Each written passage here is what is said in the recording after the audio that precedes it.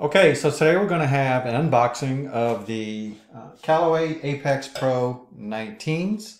Uh, this is Jamie with Golfer Geeks, and it's been a while. Uh, frankly, um, haven't been playing much golf. Uh, Corona's kind of got me a little shut down, but I'm picking back up as um, Texas is opening back up, so here we go. Um, I've been wanting to try these uh, particular clubs for a while. Um, love Callaway. I think they're um, great products, great irons. I've played them for many years. Um, and if you've seen it, any of my other videos or read my material, you kind of know that um, I don't really think it matters that much. Um, the manufacturer, I think everyone produces very high quality uh, products these days.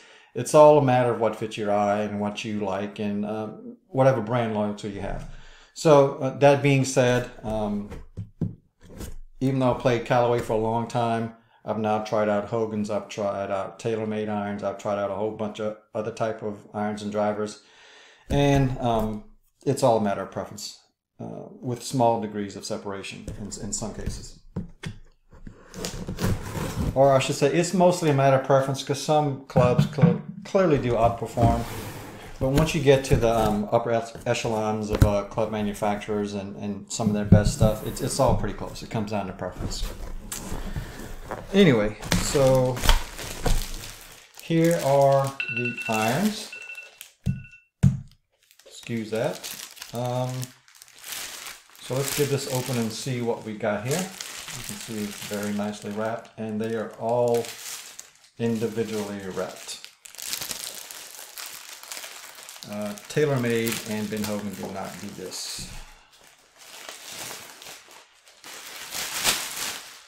All right, so let's see. What do I have here? This is the gap wedge, a wedge. See if I can get with the shine off. Get you a look at the back here. And again, I apologize for the uh, for the glare, but otherwise you wouldn't be able to see me as well, and it would just look terrible. Okay. All right, so handsome looking club. And so the shaft we have on these are the Elevate, True Temper Elevate Tour Stiff Flex VSS Pro. Have never held one of these shafts in my hand before. Um, the grip is Golf Pride Tour Velvet, basically their basic um, starter grip. Uh, right, it looks great. It's a gap wedge. You don't expect much in intimidation even from um, forged blade type irons, and there's zero here. I'm going to open a couple more. I don't think I'm going to open all of them because really there's no need. Although we'll see what's going on. Um, don't forget to subscribe to the channel. Um, I often, though not often enough, um, send out um, deals and coupons and stuff like that. So you, you're going to want to subscribe to my email list too. All right, here's the pitching wedge. Um, again, beautiful looking irons. Um,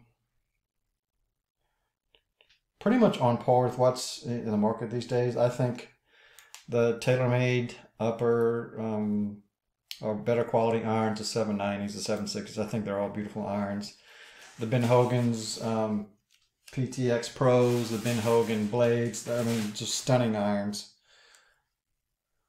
Here you go, take a look at it that way. Here's the back, here's the face. Uh, same shaft and everything, of course. Again, you don't expect much intimidation uh, at this point here. And so I've got, let me get something a little more. I'm just going to put these lower lofted clubs aside and go for a longer iron just to start getting into the intimidating area. All right, so this one may indeed be a long iron. Let's see here. ah, six iron. So we're getting into the uh, the real deal here. And take a look at the back there. And the club face. So these are going to have less offset, especially since they're the pros, than normal irons. See there. See if I can get you a, an image or a look at the top line. So what you're going to see when you're looking down at the club, uh, that's not really going to, maybe like this. Okay. All right, so I've, I'm playing smaller bladed irons these days, and I've tested a lot of blades. So this doesn't really throw me off a lot, but I can see um, if you're a, an upper mid handicapper, and if you're a, high handicapper, don't even consider these. I'm gonna tell you right now, don't consider these clubs. Um, I could see where it's a smaller club head, of course. Um, it would intimidate you just getting it behind the ball and, and the way it frames the ball, it's just not as much meat behind the ball, so it's gonna be a difference for you. Let me grab my six iron, see if I can reach it easily. Okay, so I'm playing the TaylorMade 790s. And if we put these puppies side by side there, um, the 790 is longer from heel to toe, uh, without a doubt. Yeah, looks like a, an eighth to a quarter of an inch longer. Um, profile are from here to here. Callaway is higher. This distance here is greater on the Callaway than with my 790s. Um, let's see here. You can tell, check out the sole here. 790s have a wider sole. And let's just take a look at top line. Yeah, the Callaway has a thinner top line also. Um, so that's just a basic difference uh, between what I would consider probably comparable clubs.